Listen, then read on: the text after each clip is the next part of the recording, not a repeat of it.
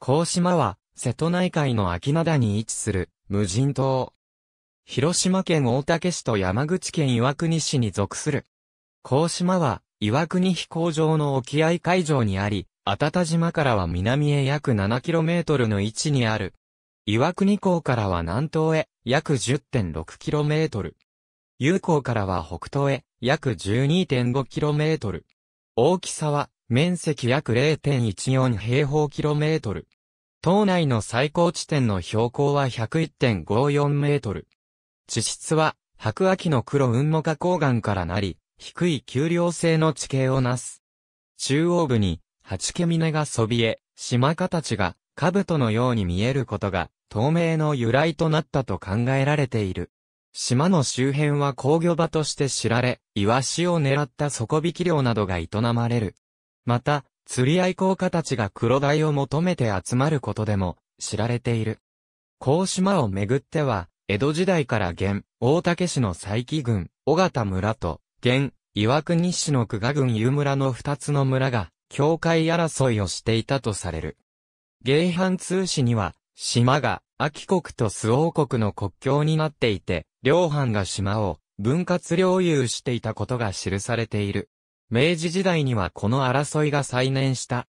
1875年に、高島周辺を漁場とする広島県は、山口県に大使高等の事件への帰属を通告したが、高島を農地として利用していた山口県は、江戸時代に交わされた分割統治の証文を証拠として通告を拒否した。係争は膠着し、その間に村民同士の暴力事件に発展したため、1879年に内務省が介入し、島の中央を走るバチが、峰の稜線を県境と定めた。1880年、廿日市市で、江戸時代末期に作図された、高等の古地図が発見された。